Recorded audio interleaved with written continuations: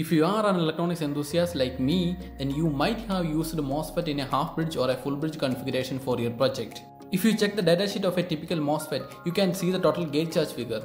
So if we calculate the drive current as Q dot over T on, assuming T on to be 1% of the switching frequency of 30 kHz, we will get a turn on time of 333 nanoseconds, resulting in a drive current of 189 milliamps.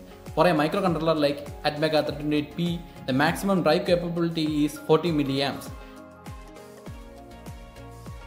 Secondly, when an N-channel MOSFET used as a high-side switch, it can't be driven directly because of its floating source. So that's why we need a gate driver ICs like IR2110. Let's see how the bootstrapping circuitry of a typical MOSFET gate driver works. In step 1, the low side MOSFET is turned on and the bootstrap capacitor C-boot charges up slowly to the supply voltage through the bootstrap diode.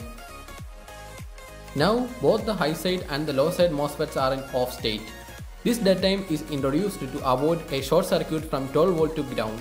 At this point, C-boot is fully charged to 12 volt and is ready to drive the high side switch. With the low side MOSFET still off, the driver now uses the voltage across the bootstrap capacitor to turn on the high side MOSFET and the C-boot discharges slightly as it applies the VGS across the MOSFET. Again, both the MOSFETs are off, introducing an appropriate dead time. At last, the lost MOSFET turns on again, recharging the C-boot to 12 volt through the bootstrap diode and the cycle repeats. So next time you see a high side MOSFET switching cleanly, you know the bootstrap circuit is doing its job. If you are enjoying this short video, smash that like button, share it with your friends and subscribe for more. Thanks for watching and see you in next video.